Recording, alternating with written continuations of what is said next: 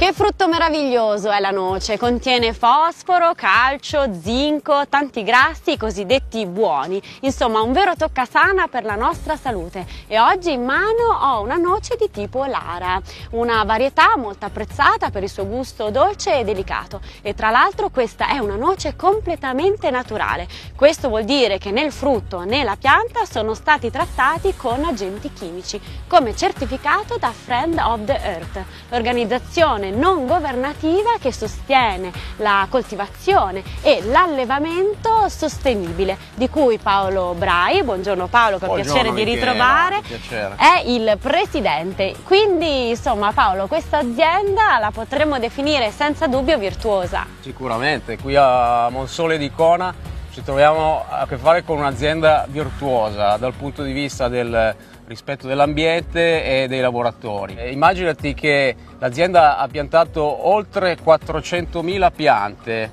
ormai più di un quarto del suo territorio è coperto da noceti, quindi con un eh, beneficio per la salubrità dell'aria, la riduzione dell'anidride carbonica, ma anche per la biodiversità. E in questo momento non è proprio periodo di noci. No, la raccolta viene effettuata a settembre-ottobre e in questo periodo viene fatta una lavorazione dei prati in modo da mantenerli puliti e pronti perfettamente per il periodo della raccolta. Ma è importante sottolineare che questa azienda eh, pratica l'agricoltura integrata eh, e quindi in particolare per il noceto non utilizza eh, insetticidi, utilizza solo delle tecniche di eh, lotta biologica agli insetti eventualmente presenti e che potrebbero danneggiare le piante. E tra l'altro questa noce, come potete notare, non è stata sottoposta ad alcun tipo di sbiancamento, è così, naturale. Esatto, purtroppo eh, in alcune parti del mondo le noci vengono sbiancate con eh, cloro, soda,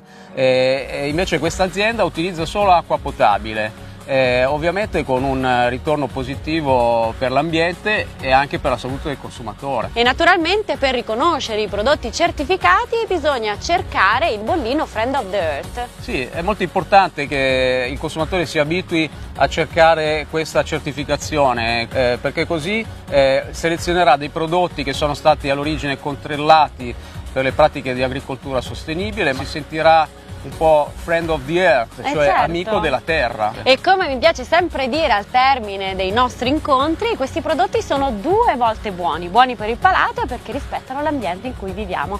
Grazie Paolo, a Grazie, prestissimo. Michela, e con voi ci vediamo alla prossima avventura.